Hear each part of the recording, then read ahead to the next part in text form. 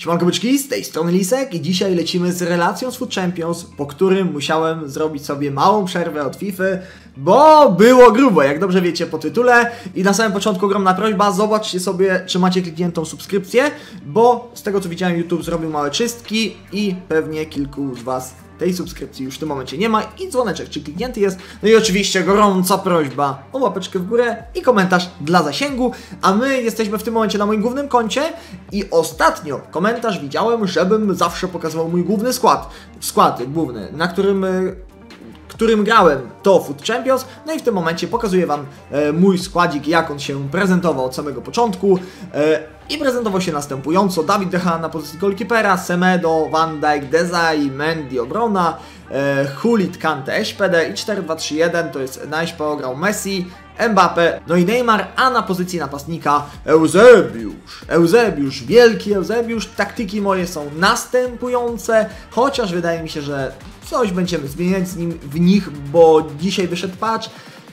Było dosyć gorąco w ostatni Food Champions i ta taktyka już nie do końca mnie zadowala, więc coś będziemy na pewno kombinować przed kolejnym Food Champions.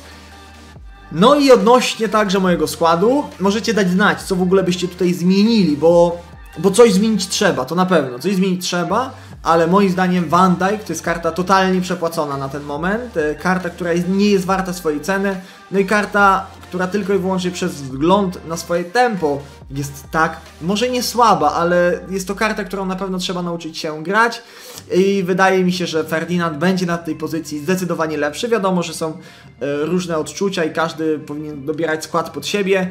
No dla mnie mimo wszystko ten Van Dijk naprawdę Naprawdę spodziewałem się czegoś więcej. Spodziewałem się, że to będzie karta, która będzie przecinała w zasadzie każde podanie, która będzie sama robiła całą robotę, bo to jest najdroższy chyba środkowy obrońca w grze, e, jeśli chodzi o zwykłe karty. No tak tutaj zawiodłem się potężnie. Przypominam, jedna jedyna sytuacja. Van Dijk miał 20 metrów, 20, no nie wiem, tyle, jak spojrzelibyśmy na ekran. Tyle przewagi e, nad Mbappe. Podanie szło z obrony mojego przeciwnika poszła zwykła piłka prostopadła, którą 99% zawodników z mojego zespołu by po prostu przecięło i przypominam, tyle Van Dijk miał przewagi nad Mbappe i Mbappe tą piłkę dogonił, wyprzedził go, poszedł w ogóle daleko, walnął go z bara, Van Dijk się przewrócił, Mbappe był sam na sam. Desai czegoś takiego nie miał. Ferdinand podejrzewam, że też poradziłby sobie znacznie, znacznie lepiej, dlatego tutaj Van Dijk raczej odejdzie do mojego zespołu. Jeśli chodzi o GK, o pozycję bramkarza, no to DHA daje sobie spokojnie radę. Czy ja wiem, czy tutaj Oblak był lepszy na tej pozycji? Może tak, może nie. Ciężko naprawdę tutaj e, ocenić tych goalkeeperów, bo wiadomo, że każde spotkanie jest inne i każdy mecz e, tak naprawdę przynosi różne sytuacje na boisku. Brakuje mi troszeczkę e, zawodnika na pozycji e, rezerwowych, zawodnika, który by spokojnie wchodził w tej 80., 70 minucie i byłbym za niego pewny. Niestety ani Lozano, ani Promes nie są takimi zawodnikami i troszeczkę jest mi tego szkoda. E, może zainwestuję e, moje końce w jakiegoś Salaha, bo w ostatnim Food Champions to Salah robił mi naprawdę potężną różnicę, kiedy to mógł wejść w 60 nawet minucie za Messiego, a Messi wiadomo, że tą kondycję ma dosyć słabą, bo on już w 60 minucie to zdycha totalnie, ale zobaczcie, on ma wytrzymać na poziomie 75, czyli ta 60 minuta, to tutaj ten Salah by po prostu wszedł idealnie. Dajcie znać, co o tym myślicie. E, no a dodatkowo zastanawiam się cały czas, czy jest sens e, wrzucać tutaj Patryka Vieira za kantę. Mm, z jednej strony jak najbardziej, ale z drugiej, kurczę, może pozbierać więcej końców i kupić na przykład sobie Nazario.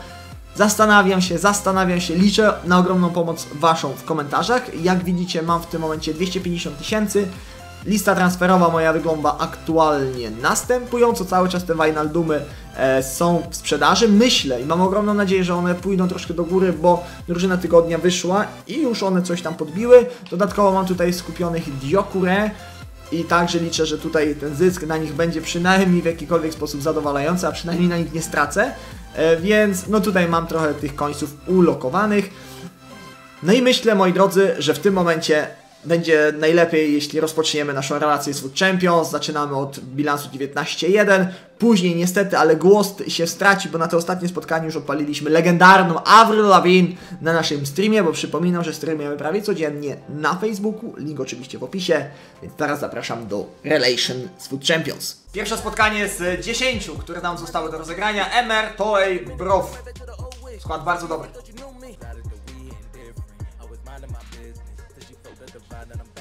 Pięknie, Leo Messi, bardzo ładnie tutaj rozklepane. Eusebio chyba nie miał dobrej sytuacji, żeby to wykończyć w 100%. Więc Messi tutaj doklepał, doklepał. Dobre przyjęcie. Wow!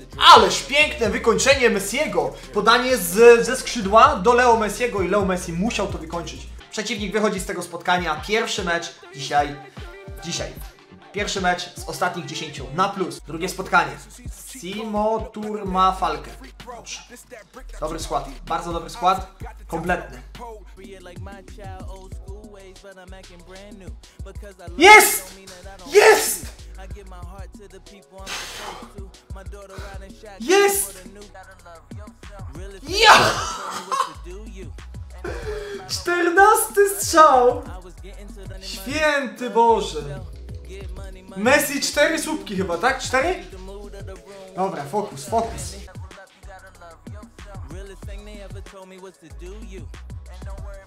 Jest. Boże, chłop musiał strzelić. Chłop musiał strzelić w słupek, żeby mi akcja normalna wyszła. Rozumiecie to?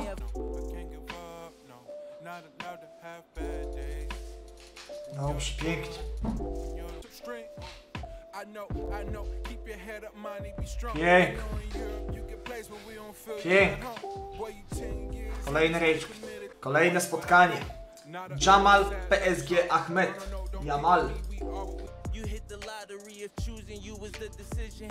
I make it obvious that I don't need another chick. You got me to the full position. Pięknie Eusebio, wyczekał do końca. Mogłem, miałem dwie, jeszcze dwa warianty. Tak mi się przynajmniej wydaje.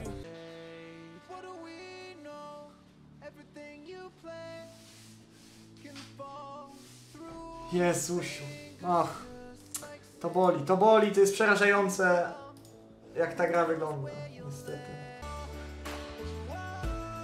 Nice, chyba Messi. Chyba Messi. Świetne wykończenie Messiego. W końcu się odblokował po poprzednim spotkaniu. Co to jest w ogóle za odbiór?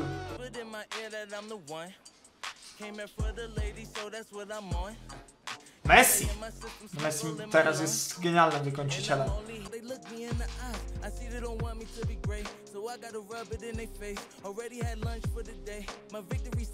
Wow, ale dużo szczęścia. Przepraszam, już się nauczyłem jak się robi przepraszam, więc przepraszam. I'm so sorry. Frutella. Kojarzę.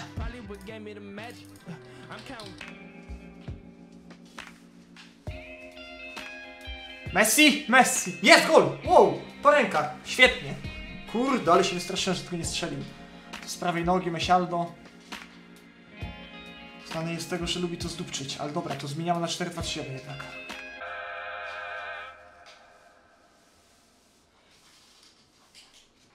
Niestety, no niestety, niestety mój przeciwnik oddaje pierwszy strzał. Ale czemu? Another place. I know it's confusing. I'm just explaining the whole illusion of choosing when before. Ale.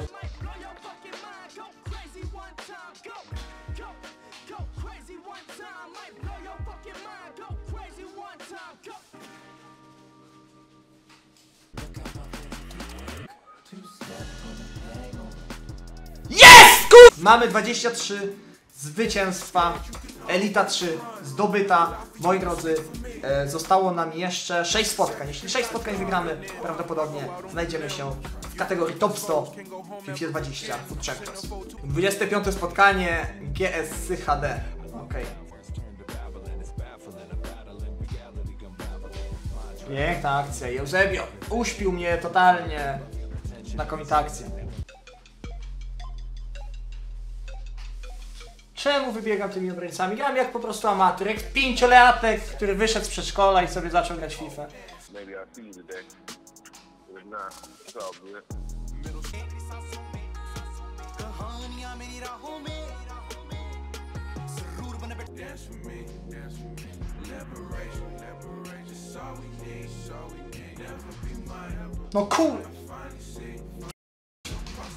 I see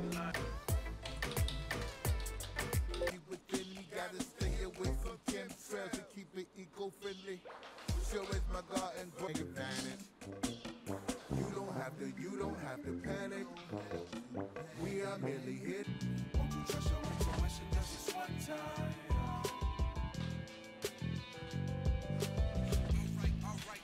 No, to nieźle zmienili coś z matchmakingiem.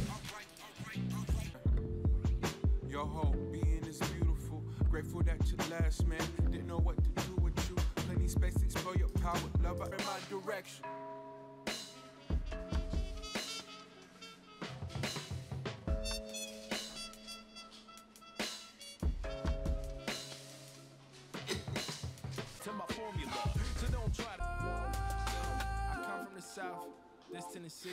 Where I know it's the difference between the lake and the sea. Where the water looks still, the undercurrent is sweet. I never had me a problem with.